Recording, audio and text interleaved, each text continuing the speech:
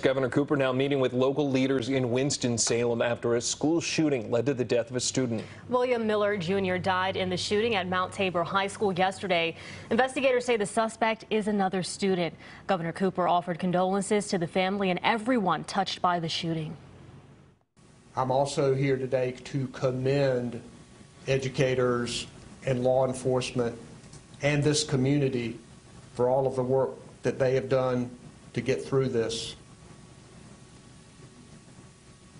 You are not alone. This is a pain and a fear that no child or parent should ever have to confront simply by having a child go to school.